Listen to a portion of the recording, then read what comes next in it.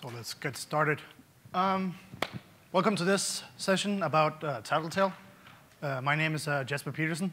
I'm the uh, project lead uh, for Tattletale. So in this session, we're going to uh, do two things, basically. Take a look at what Tattletale actually is and how it relates to JBoss Application Server 7. So we'll go through, basically give you an idea of what Tattletale actually is, and we'll look at how that relates to your deployments, which are the enterprise archives.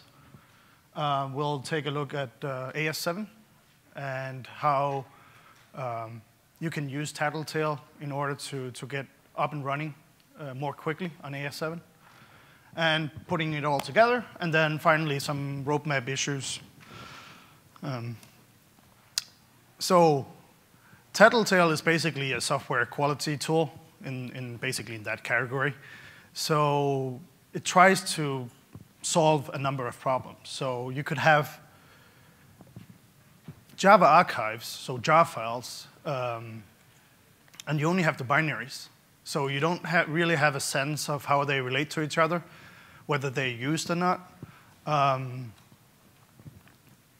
you need to know where a class is basically located within all this basic mess of jar files, and is the dependency graph, which basically is, is all the classes that are needed really available to the application itself.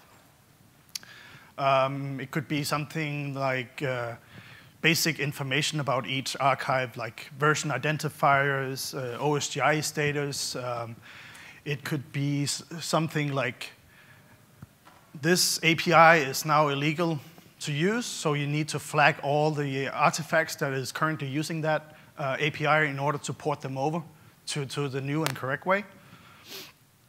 And jar hell, right?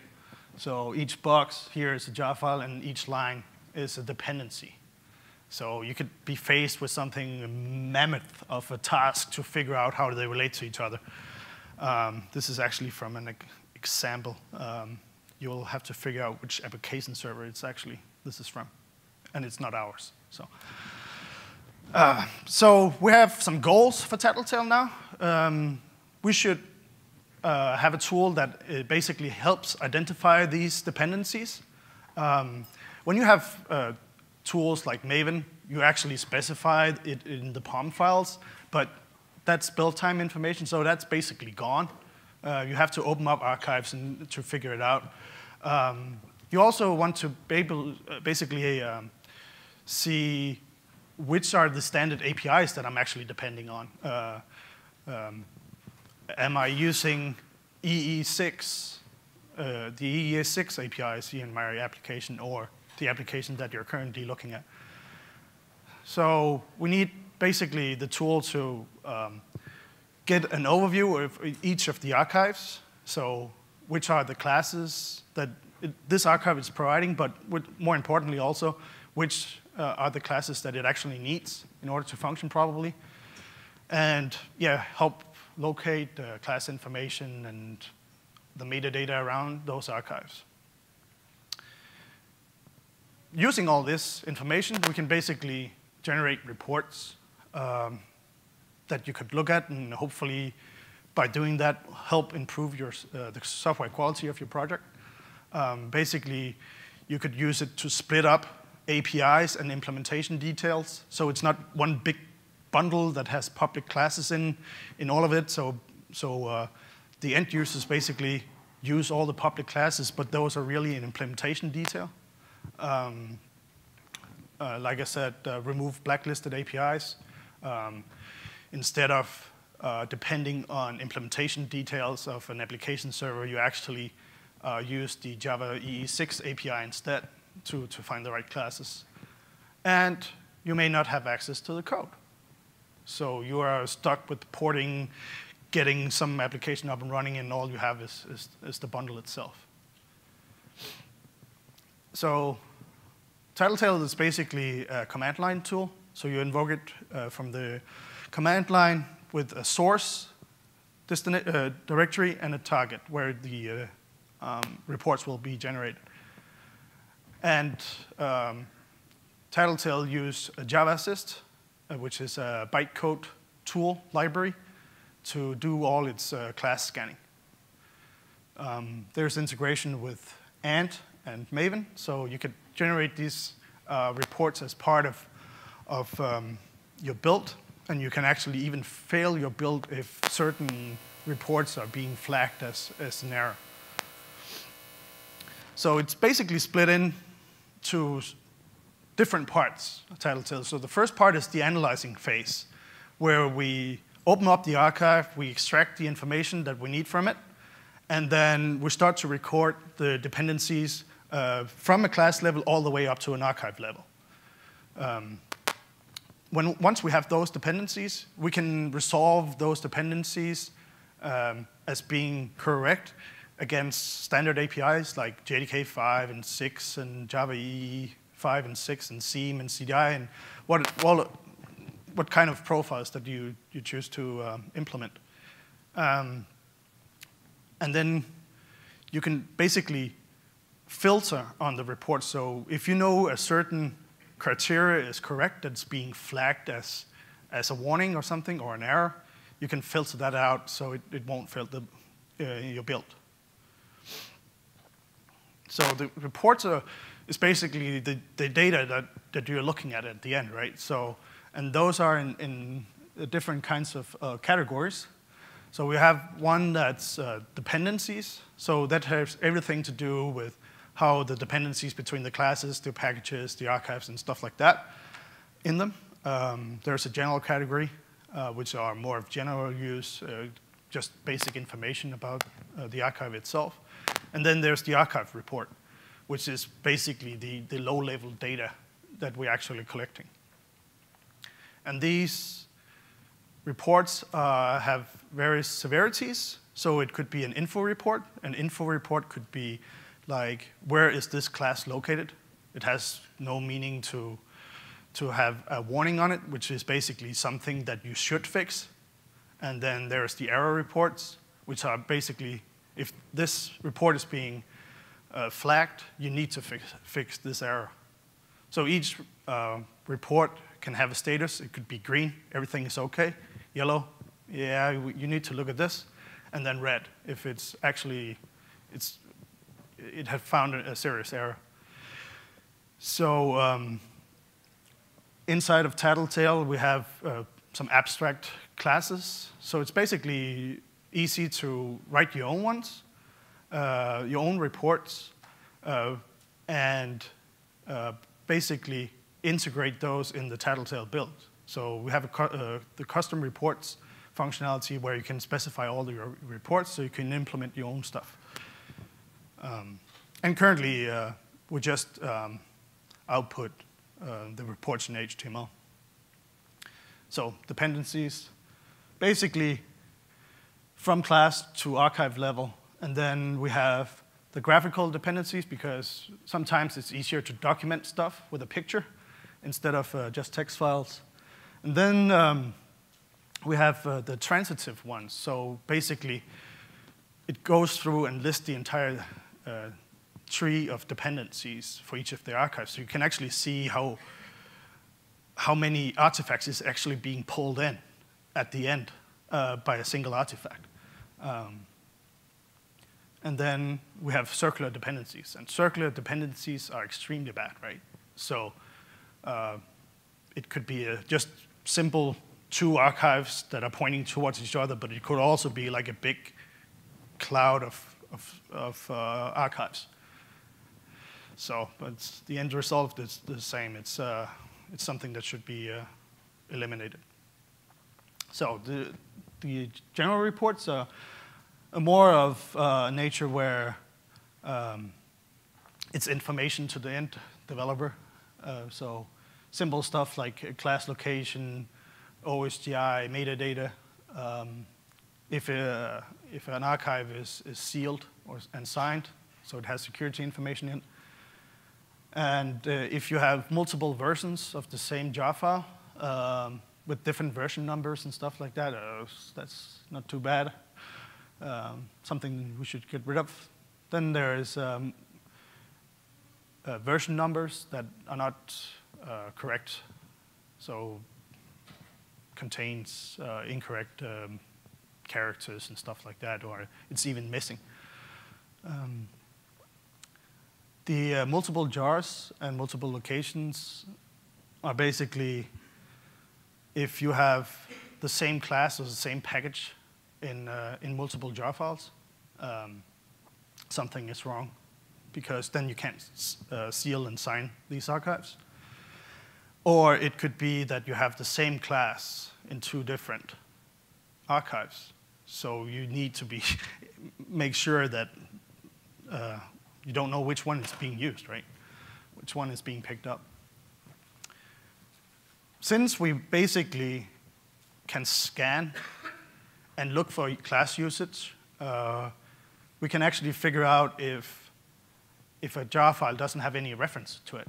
So it could, uh, it could maybe be uh, eliminated from your build environment.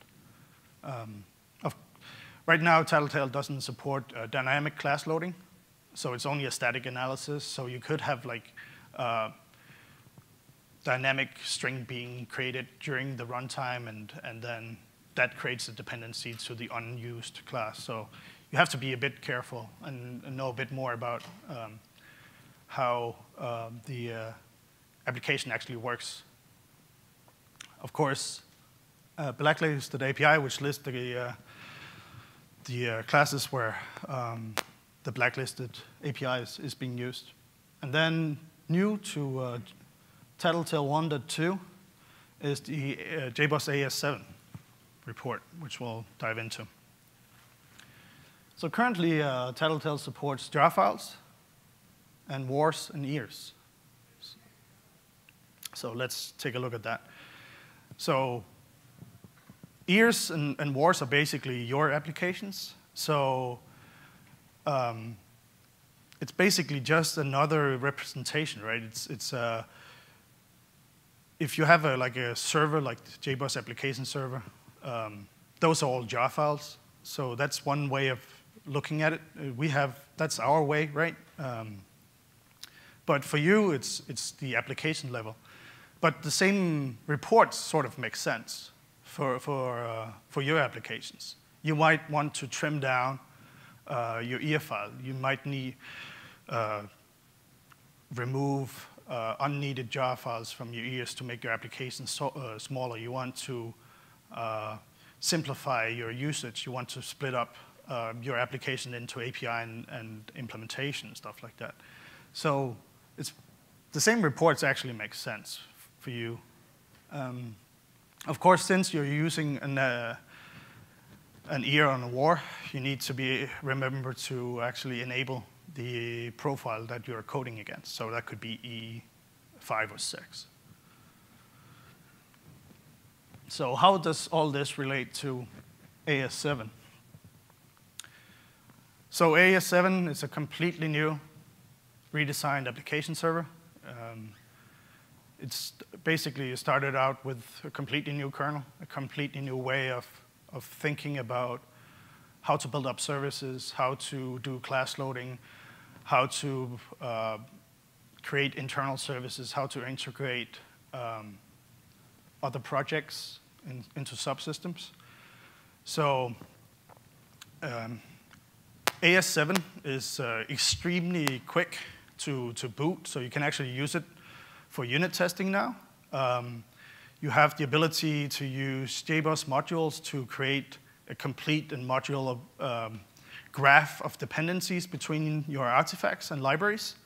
Um, we have a unified uh, management model now also.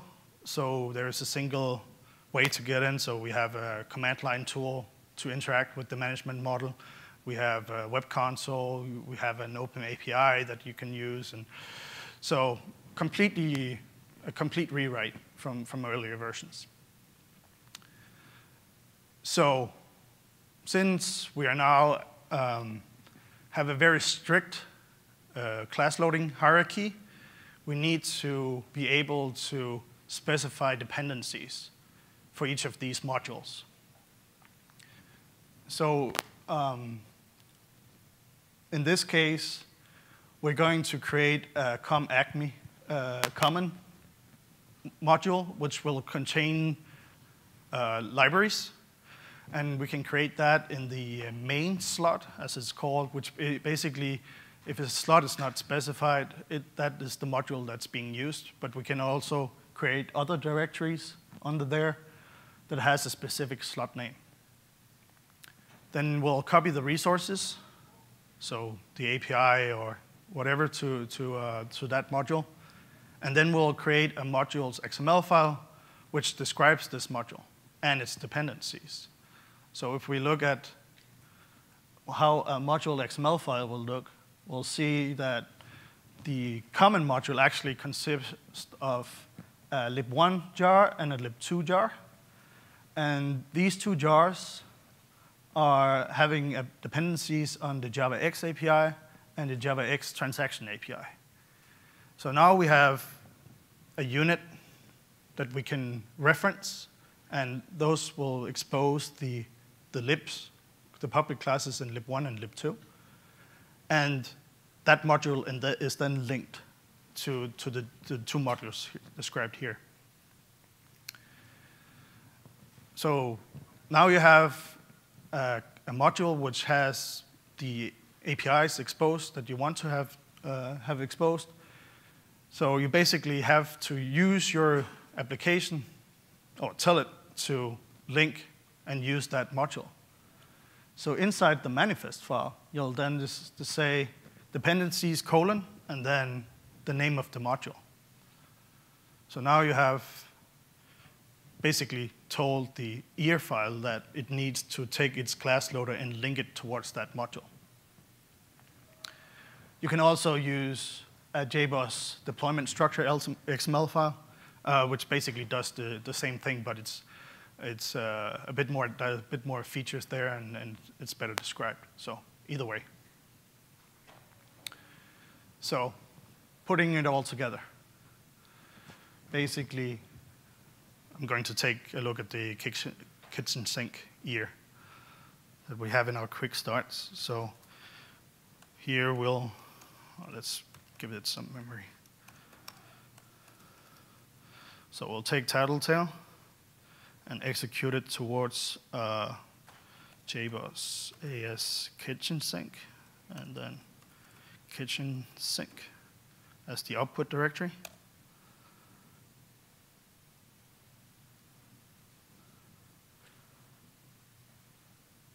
Uh, let's see what happened here.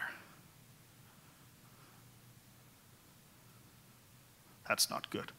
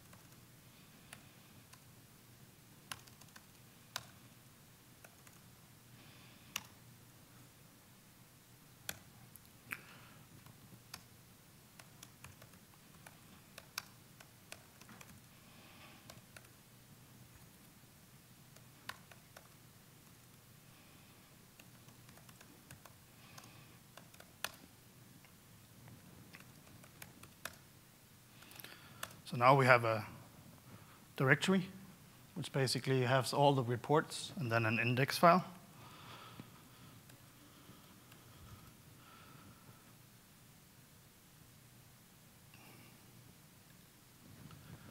Let's see, I can bring that up a bit. So down here, we now have the ear report for the archive which has the basic information here. And we can see that there's two subarchives inside this ear file. We have a war file, um, which has requirements like Java util lists. and then it has um, class files of its own in here. And we have the jar file, same deal basically, which has provides and, and requires.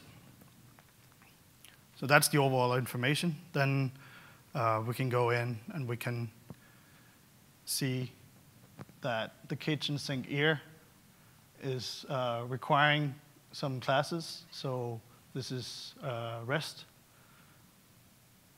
which wasn't found, and there's uh, some validator from Hibernate that wasn't found. And then there are a couple of, of uh, classes here. That, th those are probably uh, incorrect, but so now we can go and see the AS7 report. Go in and open up the structure file. So here you can see the, uh, the modules names that Tattletale has found inside of AS7 that is required for this application. Um, so you can see that it's using annotations, it's using EJBs, it's, uh, it's apparently faces based, it's using JPA, it's using bean validation, RESTEasy, XML, and Hibernate, and then of course the system files itself. So this is basically the structure file that now you can embed, and this will then link up your ear file to, to those modules. Um, it's something that, that you will look at and see if there's something that, that pops out here. So the only one that really pops out here is, is the Hibernate one, uh, because the uh, deployment, once it gets deployed into AS7, will automatically attach the, uh, the EE API as, as a dependency to the uh, to file here. But as we saw, there was uh, an explicit import of, of uh, Hibernate validator that is uh, outside of the spec. So uh, that's why the Hibernate validator module is, is needed as an explicit dependency. So.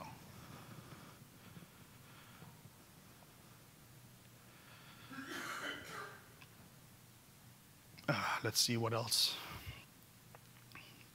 So um, Beta 2, which is released right now, has some of these reports implemented you, uh, with functionality for ES and WAR files, but there are, there are reports that are not completely implemented yet. And that's why we're still at beta. Um, so, uh, but we'll get back to that. Oh, let's see, where is it?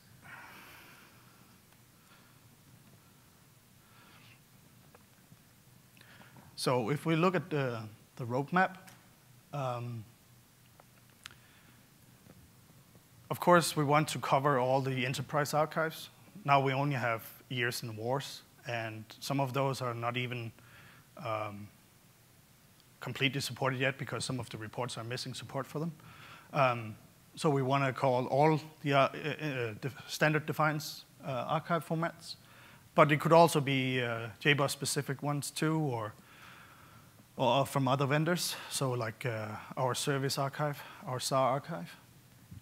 Um, right now, since we're, we're only uh, outputting HTML, and that's okay in, in certain cases, but it would be it would be really good to actually do an XML-based format instead, so you can transform uh, all the reports into PDF files or whatever you want to, to output.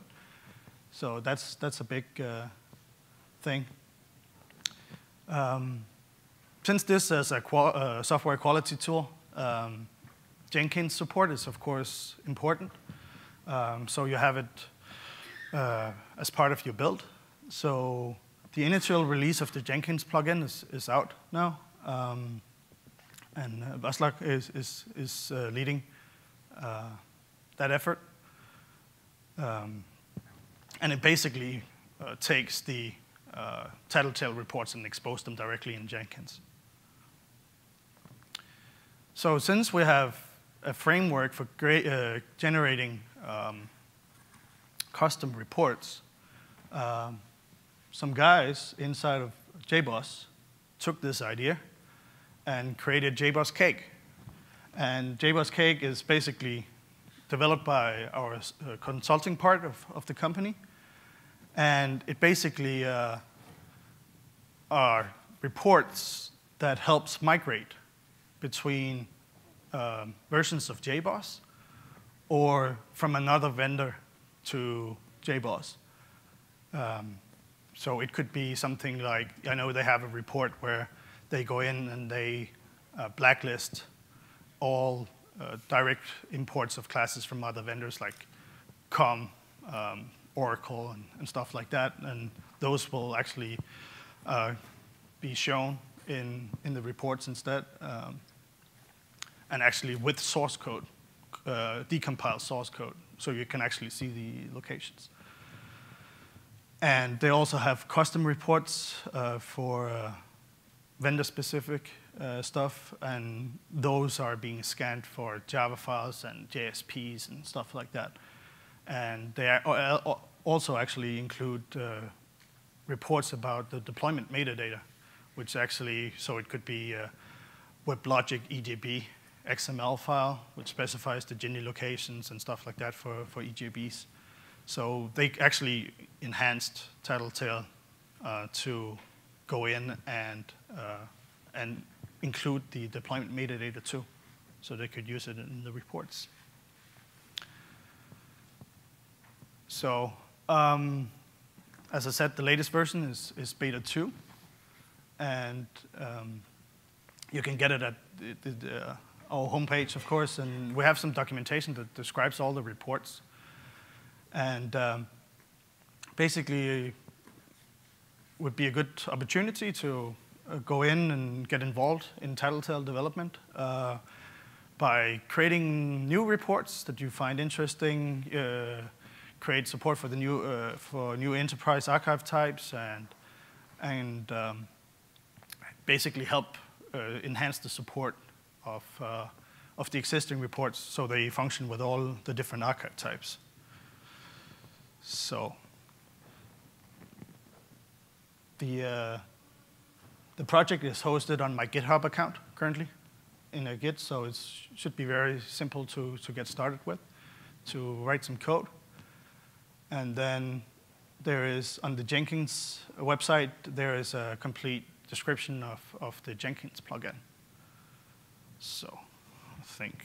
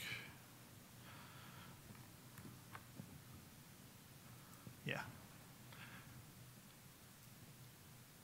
Are there any questions? Um, are there any specific reports uh, within Tattletale that help with the new way of class loading JBoss 7? Yeah, so that was, uh, well, um,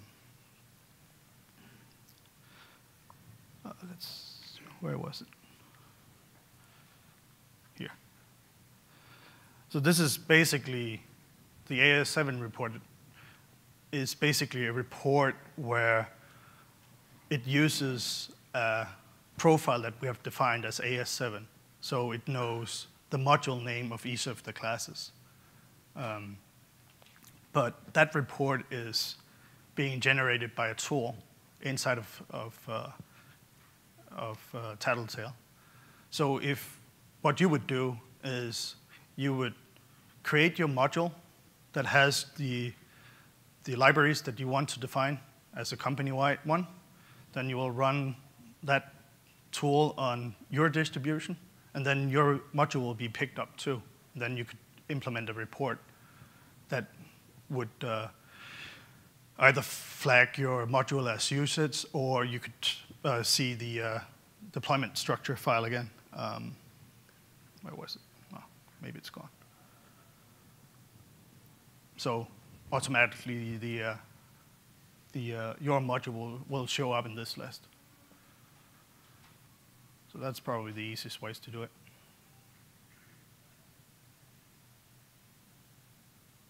Any other questions?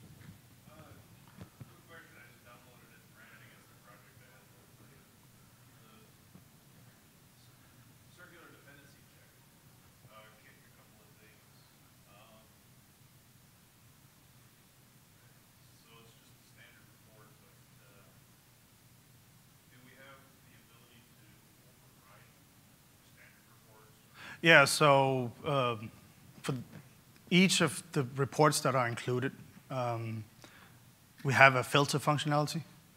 So in the user guide, under the circular dependency report, you will find how uh, the filter expression is, is going to look.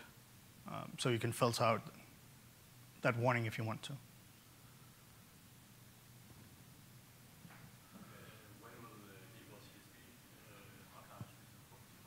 When you implement support for it. no, it's it. Uh, no, um, Tattletale is something that I uh, spend time on when I have time for it. So it's it's a community-based project. So what's the community wants to do with it? It's uh, it's a good way to get involved with it and implement support for for the ESB files. So for for me as as a JCA lead in in in JBoss, the next one will probably be resource adapters, right?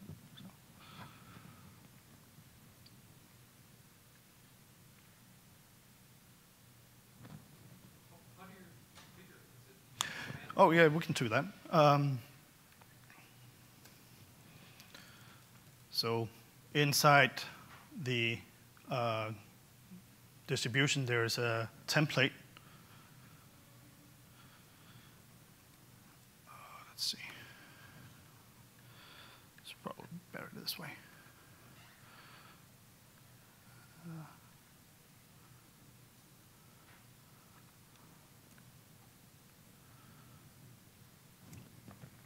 so default properties file. And all these properties you can also specify for the Ant and Maven tasks. So the first one is, is class loader, which basically is a way to tell Tattletale how class loading is done um, from a static point of view. So there's plugins for AS4 uh, and 5 and 6, which basically resolve or knows about class loading structures based on the directory structure that we have in the old days, like lib, common lib, and, and the server configuration lib directories. So, and then there are the profiles. So we can see here the kitchen sink that I ran had uh, Java 5 and 6 and EE6 enabled. Um, so what the profile actually does is basically, once it finds the dependency, that is in that profile it will basically check mark it. Okay, this is resolved because it's going to be resolved by the server itself. And then you have a list of uh, reports. So instead of having all the reports outputted, you can just put in as, uh, the ones that you are really interested in. Uh, archives that should be excluded, blacklisted APIs, uh, which file that should be scanned, and then um, the dot. So that's for graphical dependencies. So we output actually uh, what's called a dot file, and that dot file then gets um, invoked using GraphViz, and that generates the uh, PNG. So, so it's either from the command line or, or through the and Maven task.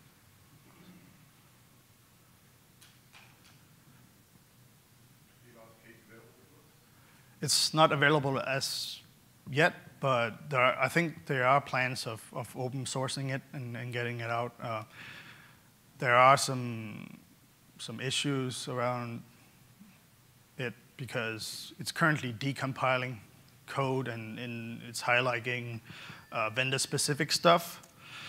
Uh, so my guess is we'll see the core functionality uh, being open sourced, uh, hopefully very soon and, uh, and having the more vendor-specific parts being, being private. Um, but once you have the, the uh, open source part, it should be relatively easy to, for you to, to write your own custom reports on top of that. So um, JBoss Consulting is, is basically contributing uh, a lot of their patches uh, back to Tattletale. So in order to keep a, a simple and unified platform as possible.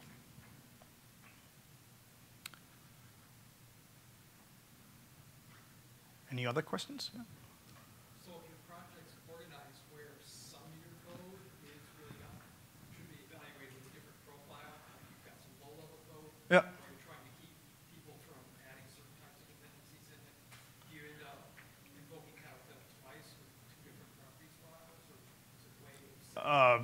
you, you could you could do it two ways. You could either create your own custom profile, um, which basically lists your classes and which ones are allowed and disallowed, and then have the blacklisted API filter out the rest. So uh, let's see, we can actually. No, I won't. Yeah. Let's take it afterwards if, if you want to see an example. I think that's it then.